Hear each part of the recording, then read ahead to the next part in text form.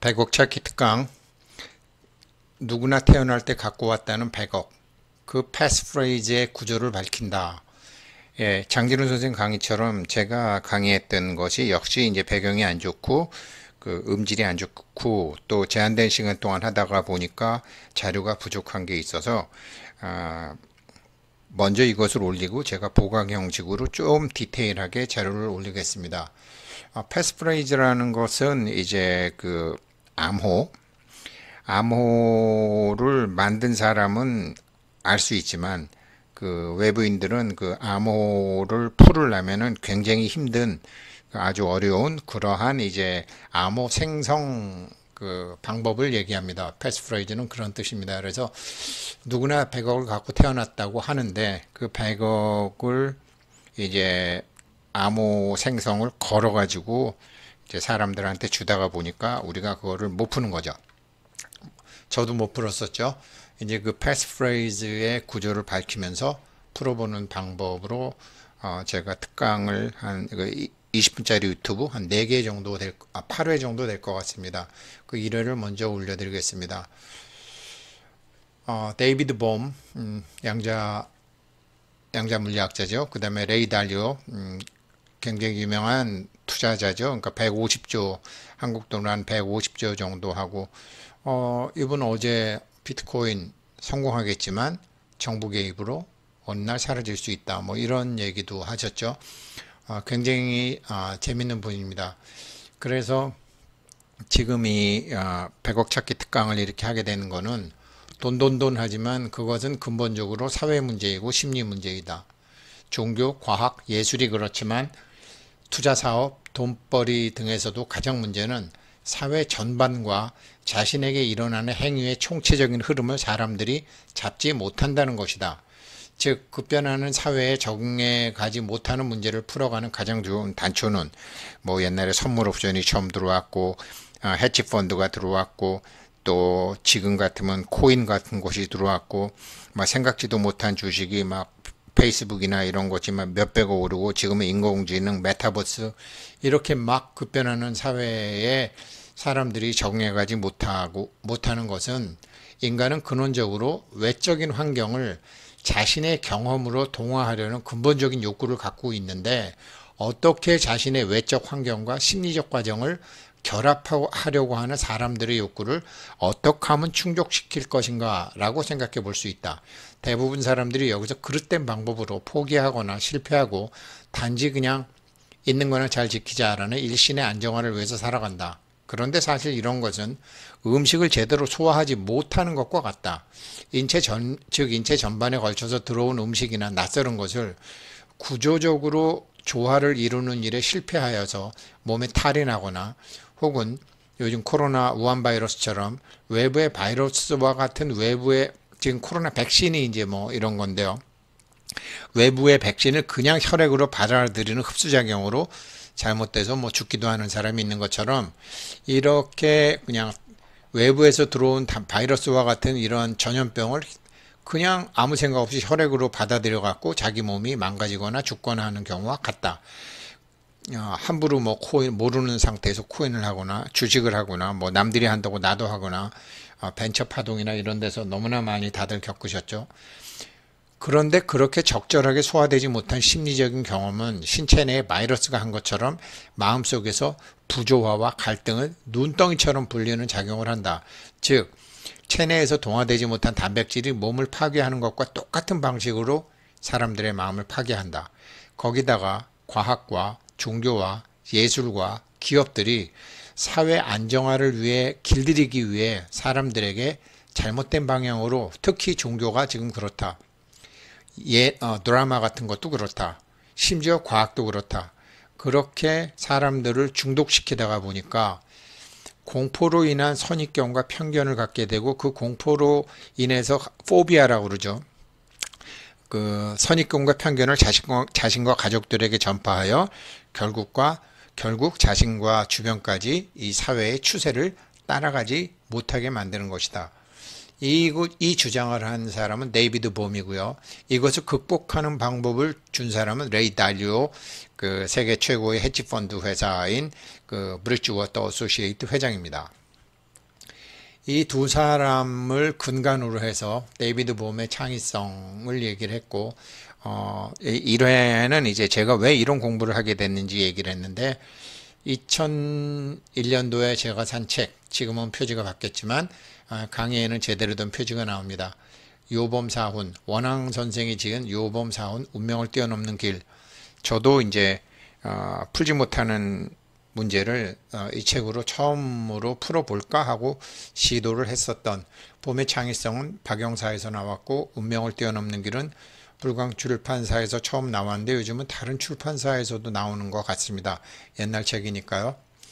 그런데 이것을 이제 레이 달리오나 데이비드 봄은 굉장히 요즘 우리가 아, 이해하기 용어는 비록 어렵지만 맥락만 잡게 되면 아주 간단한 방법으로 소화할 수 있고 이것을 이것을 소화하는 과정에서 제가 썸네일에 달았던 것처럼 누구나 갖고 왔다는 100억 이 100억을 우리가 찾아서 쓰지 못하는데 암호화 암호 생성 장치를 걸어놨다는 거죠. 그 패스프레이즈를 우리가 구조를 알므로써 자기가 각자 자신만의 방법으로 그거를 풀어가는 공부입니다. 네. 어, 화면이 좋지 못하지만 한번 봐주셨으면 좋겠고 제대로 된 자료와 제대로 된 화면과 조금, 조금 더 디테일한 방법으로 제가 보강을 해서 같이 올리겠습니다. 고맙습니다. 강의 화질 안 좋은 거 죄송합니다. 네, 안녕하십니까. 오늘 한번 강의 한번 해보겠습니다. 그 지금 제가 이제 그 지난번에 유튜브에 그 운명과 숙명 자가 그 100억 찾기 특강 이걸 올렸는데요. 2000 2001년도 이제 9.11 테러 때 돈을 홀라당 다 날려 그러니까 손님들 돈을 홀라당 다 날려 먹었는데 회사에서는 뭐 천재지변이라고 그 네 책임 아니다 그랬지만 제 생각에는 그때는 뭐 IMF 끝나고 난 다음에 금융상품이라는 것에 대해서 사람들이 잘 모를 때였기 때문에 그래도 많은 사람들이 저를 믿고 돈을 맡겨줬는데 이거 뭐 천재지변이니까 할 수 없잖아요. 그럴 수가 없더라고요. 그래서 36억이 날라갔는데 9.11 테러 때 아, 이거를 어떻게 하면 좋을까? 그때 제가 한번 저희 집값이 얼마인지 알아봤더니 1억 9,800만 원이더라고요. 그래서 근데 어떡하지? 이제 뭐 그렇게 얘기하다가 그렇게 생각하다가 우연히 책방에 갔더니 운명을 뛰어넘는 길. 뭐 요범 자훈, 그러니까 요, 원 요범이라는 사람이 이제 쓴 건데 이 책을 아무튼 제가 9.11 테러 이후에 제 힘으로 어떻게 할 수 없을 때 처음으로 이거를 그 샀던 책이에요. 운명이라는 것에 대해서 이제 관심을 갖게 된 거죠. 그래서 그 이걸 보니까 뭐 그 원요범이라는 사람이 그 명나라 때 우리나라에 그 임진왜란 때 임진왜란 때 우리나라 왔다가 이여송이가 어, 조선인 시체를 외놈 시체로 거짓 보고를 하고 그거를 이제 뭐 외놈 목을 뱉다라고 그렇게 거짓말하고 하는 게 이제 좀 속이 상하고 그래서 그 이제 이여송하고 싸우고 벼슬을 집어 던지고 명나라로 가는 사람이더라고요. 쉽게 얘기하면 이제 이여송의 밑 에 따라온 이제 책사 제갈공명 같은 사람이에요. 근데 이 양반이 어렸을 때 뭐 그 자기가 이제 그 어떤 굉장히 유명한 사주쟁이를 만나게 됐는데 당신은 뭐 당신은 몇 살 때 어디까지 올라가고 몇 살 때 어디까지 올라가고 참 당신은 관운이 딱 좋다. 그래서 어 그랬는데 당신은 후손이 없다. 이제 그랬는데 살다가 보니까 정말로 몇 살 때 뭐가 되고 몇 살 때 뭐가 되고 몇 살 때 뭐가 되고 몇 살 때 뭐가 되고 딱 되길래 아 운명이라는 건 다 정해져 있나 보다. 이제 그러면서 욕심 없이 세상을 사는데 어느 날 이제 어디 가다가 이제 그 어떤 사람하고 같은 한 방을 요즘 같으면 이제 여관이죠. 여관에서 이제 한 방을 쓰게 됐는데 자기가 이렇게 있, 있다가 보니까 마주 앉은 사람이 좀 이렇게 몸이 열린 사람이었나 봐요. 몸이 열린 열린 사람이다 보니까 어, 선생은 뭐 하시는 사람인데 아주 대도인이십니다. 그래서 나랑 같이 한 방에 있으면서도 뭐 마음이 하나도 요동이 없는 아주 정말 뭐 대단하신 분이시네요. 그래서 무슨 공부를 하셨습니까? 라고 이제 그 도인이 거꾸로 묻더래요. 거꾸로 물었더니 어, 묻길래 원요범 선생이 답하기를 그게 아니고 내가 어렸을 때 어떤 유명한 사주쟁이한테 점을 본 적이 있다. 그랬는데 몇 살 때 어떻게 되고 몇 살 때 어떻게 되고 몇 살 때 어떻게 된다고 그러더니 정말 다 그렇게 되더라. 그 다음에 어, 옛날에 이제 곡식으로 받았으니까 뭐 예를 들어서 뭐 어, 월급이 월급이 이제 쌀 20가마 네 20가마 뭐 두 홉이다. 뭐. 그러면 정말로 20가 두 홉도 되고 그렇게 너무 탁탁탁탁 이제 맞았기 때문에 세상은 이미 정해진 건데 내가 무슨 욕심을 내겠습니까? 그랬더니 그 도인이 하는 말이 도인인 줄 알았더니 순 잡놈이구려. 그렇게 얘기하면서. 아니 여보시오. 세상에 그런 게 어디 있단 말이오. 그러면 태어날 필요가 사람이 태어날 필요가 뭐가 있겠소? 그렇게 정해진 거리를 것이라면 하면서 이제 운명을 뛰어넘는 방법을 가르쳐 줬는데 그게 이제 계속 공독을 짓는 거죠. 그래서 뭐 점수 이 책 뒤에 보면은 다 이제 공과록이라 그래서 자기가 이제 하루하루 자기가 남을 도운 거 뭐 아무튼 잘못한 거 이런 거를 점수를 1점부터 100점까지 해서 이렇게 자기 점수를 계속 기록해 나가는 거를 이제 하다가 그렇게 쭉 하다가 보니까 자기가 몇 살까지 밖에 관직에 없겠다고 그랬는데 에, 그 관직도 넘어서고 아들도 없다 그랬는데 아들도 낳고 이제 그렇게 되면서 아 운명이라는 게 뛰어넘는 넘을 수 있는 것이구나라고 해서 이제 이 책을 그 자기 아들을 주려고 후손한테 남기려고 이 책을 쓴 거죠. 그러면서 이제 어, 그 사람들 만날 때마다 도와주고 복을 짓고 이제 그랬는데 이 사람이 벼슬이 올라가서 지금으로 따지면 이제 군수 정도 되니까 아니 이게 군수가 되니까 밑에 사람들이 항상 이렇게 따라다니고 해서 복을 지을 수가 없어가지고 음, 도지사 예, 군수 도지사 정도 되겠네요. 도지사 정도 돼야지 되겠네. 도지사 정도 되니까 아니 이거 지금 복을 지을래도 복을 수가 없고 맨 이게 공무원들이 따라다니고 하니까 걱정이다. 그랬더니 마누라가 아니 꼭 복을 사람을 보고 지어야 되느냐. 그러면서 휴, 마침 흉년이 들었으니 세금을 좀 내려라.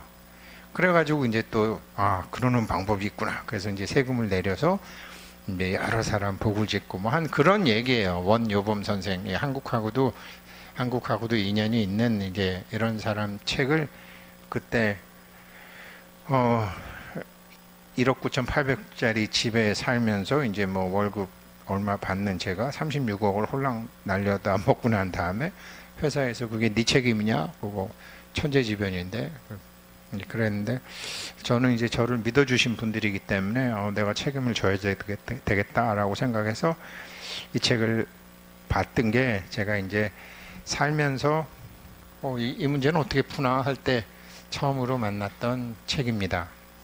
운명이라는 것에 대해서 이제 스스로에게 이제 관심을 갖게 됐죠. 그리고 난 다음에 그 어, 그리고 난 다음에 이제 저 봄의 창의성 저거는 조금 이따 설명드리고요. 그리고 난 다음에 이제 운명을 바꾸는 법 그 저것도 이제 요범사훈을 이제 대만의 전공 법사라는 법사가 뛰어넘는 게 아니라 이제 명을 바꾸는 법을 해서 또 저것도 뭐 사서 좀 읽어보고 이제 그랬어요.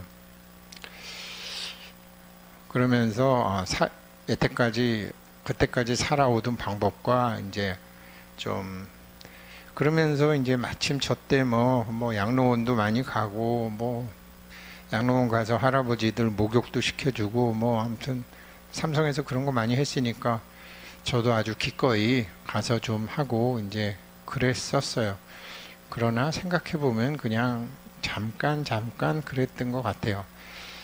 그리고 이제 어, 날줄 원각경이라고 그 그러던 와중에 그러던 와중에 제가 이제 증권 투자와 결 증권 투자와 금강경을 어, 금강경 공부를 하면서 증권 투자와하고 엮어서 그 그때 이현주 목사님, 어, 이현주 목사님의 금강경 읽기라는 책을 어, 떤 출판사한테 선물을 받고 어, 목사님이 이런 걸 써도 돼? 그래서 그럼 나도 써도 돼? 그랬더니 그래서 제가 무식한 놈이 사고 친다고 건강경 책을 이제 증권하고 뭐 이렇게 엮어서 한번 책을 썼는데 그 책을 보고 이제 책을 동아일보에 크게 났는데 이제 성법이라는 분이 전화가 와서 책, 책 나온 지 얼마 안 돼서 전화가 와서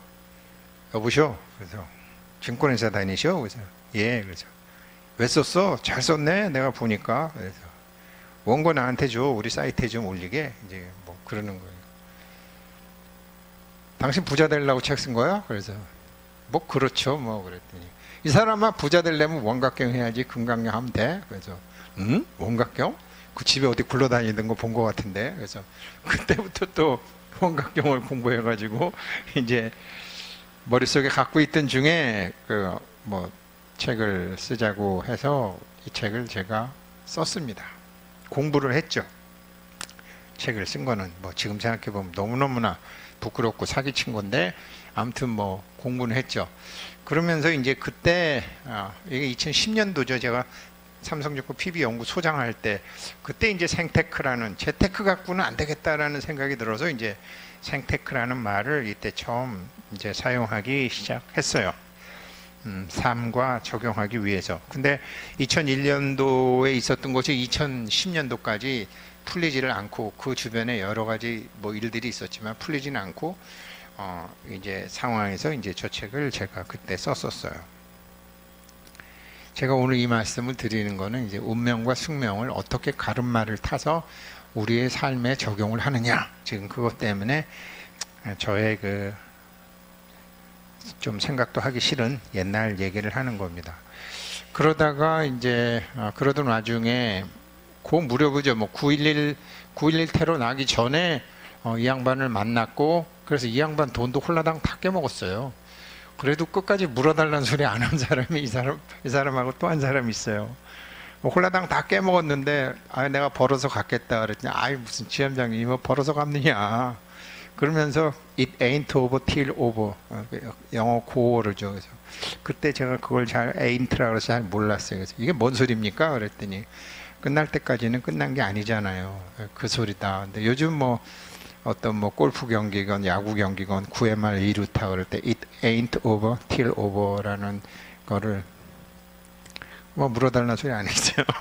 다른 사람은 당신 빨리 잘 돼야지. 내 돈 찾지! 막 그랬는데 끝까지 이 아줌마 그 소리 안 했어요. 그래서 아무튼 이 아줌마도 31살에 저를 만나서 32살 때 이제 제법 많이 그때 9.11 테러 때 날려 먹었어요. 아무튼 그러다가 이제 제가 그 이제 34살 때 그러니까 제가 그래서 이 아줌마 좀 좋아해요. 그러니까 사진도 예쁜 사진 썼지. 안 그러면 못생긴 사진 갖다 집어넣었을 거 아니에요. 앵글이 막 다른 거니까 사실은. 그래서 아무튼 그랬는데 이제 그 유튜브에서 말씀드렸던 것처럼 그러고 난 다음에 이제 2003년도에 제가 주식하고 건강경하고 엮어서 책을 써서 줬을 때 어, 한문을 많이 아시냐 그러면서 운명과 숙명의 차이가 뭐냐 라고 이제 물어서 그로부터 한 10년간 뭐 10년간 저하고 운명과 숙명이란 얘기를 많이 했는데 아무튼 제가 제가 생각한 답을 이거 같다라고 얘기했는데 아니다 아닌 것 같다 아닌 것 같아요. 그래서 그 빠꾸를 많이 맞았죠. 제가 갖고 있던 운명과 숙명이. 그래서 나중에 그러면 그렇게 많이 오래 생각했으니 답이 뭐라고 생각하냐? 그랬더니 숙명은 안 따라가면 바보가 될 것 같고 아, 운명은 운명은 따라가면 바보가 될 것 같다라는 소리를 했어요. 근데 그 소리 들었을 때 그냥 뭐 어, 부잣집 딸이 그냥 하는 소리인 줄 알았지 그게 뭐 맞는 말이라고는 생각을 그 말을 들었을 때는 못했어요. 그로부터 이제 거짓 뭐 10년이 지난 다음에 어, 일단 답은 맞다. 일단 답을 맞다. 그러니까 17살 때 아빠한테 들었던 아빠한테 받은 화두를 아마 평생을 갖고 있으면서 생각을 또 했고 사람들은 뭐 그냥 젊었다 여자다 부잣집 딸이다 이렇게 생각을 하지만 그 뭐 동양의 사상으로 보면 다 윤회라는 것도 있고 지난 세상에 업도 있고 그래서 이제 뭐 그런 그런 조건 하에서 태어나서 이제 했겠죠. 아무튼 그래서 어, 이 양반이 어, 그렇게 급작스레 물어본 운명과 숙명이라는 게 제가 마침 또 그렇게 어, 9.11 테러 때 돈을 훌러당 남겨먹고 저 역시 같은 문제였기 때문에 아마 그 운명과 숙명이라는 화두를 제가 갖게 된 것 아닐까. 그래서 마누라 몰래 집 문서 들고 사고 치다가 또 걸린 것도 2004년도니까 아무튼 막 뭐 그럴 때 어, 저도 그러니까 운명과 숙명이 막 저도 어, 저 이부진 씨의 화두가 아니라 제 화두인 것 같을 때의 어, 얘기입니다. 그런데 이거를 이제 제가 그 몇 년 전에 금강 삼매경 원효대사의 금강 삼매경이라는 그 강의를 TV에서 했는데 이 금강 삼매경에 보면 같은 마음에 두 가지 마음이 있다. 하나는 견분, 하나는 상분 이렇게 금강 삼매경론에 나와요.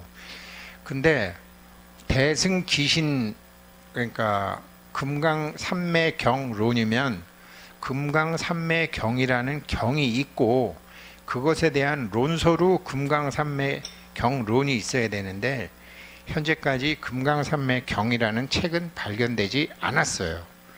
그냥 금강산매 경이라는 론에 대한 해설서만 있어요. 거기에 견분과 상분이라는 얘기가 나와요. 같은 마음에 두 가지 마음이 있다. 근데 원효대사가 해골물을 뭐 이거는 제가 뻥이라고 생각하지만 아니 바보도 아니고 술 먹고 뻗은 사람도 아니고 뭐 더듬더듬 뭐 해골에 담긴 물을 뭐 아, 이 말이 되냐고요. 말이 안 되잖아요. 술 먹고 완전히 녹초가 되기 전에야. 누가 그렇게 얘기를 한 거 가지고 이제 어, 좋으니까 그게 그렇게 된 거지. 그래서 어 아무튼 뭐 아무튼 뭐 저녁에 그 저녁에 이제 밤에 더듬더듬해서 목이 말라서 물을 먹었는데 그렇게 시원하고 좋았는데 그 다음 날 보니까 으? 해골에 담긴 물이었다? 그래갖고 막 구토를 하고 어 어제 저녁에 너무 물을 먹고 좋아했던 마음이 있고 지금은 해골물인지를 알게 되니까 구토가 나는 두 가지 마음이 있구나. 그러니까 몰랐을 때의 나와 알았을 때의 나 두 가지가 있구나. 그게 이제 모르, 모를 때의 자기와 알 때의 자기라는 어, 말로 견분과 상분이라는 초보적인 단계 나중에 이게 바뀝니다. 켜보, 견이라는 건 볼견이고 그러니까 주체죠 주체 그 다음에 상이라는 것은 비춰지는 거죠 음, 보는 놈과 보이는 놈이죠 보는 놈은 견분, 보이는 놈은 상분.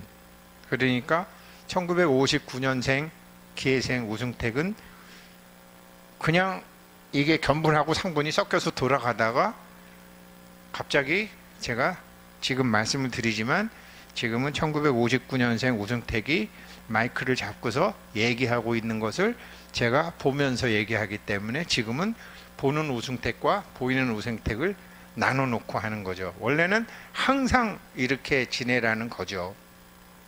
근데 이렇게 지내다가 보면은 문제가 말을 점잖게 자꾸 해야 되고 저 그러니까 말이죠. 제가 아 그 얘기요. 이렇게 자꾸 이렇게 어, 누구랑 대화할 때도 어, 그렇게 되더라고요. 그냥 자연스럽지 않, 자연스럽게 돼야 되는데 혼자 있을 때야 되는데 혼자 있을 때는 되는데 그게 잘 안 되더라고 하루 종일 하는 게 그래서 이제 그거를 견분과 상분이라고 이제 금강산매경에서는 이제 일단은 처음에는 이렇게 시작합니다.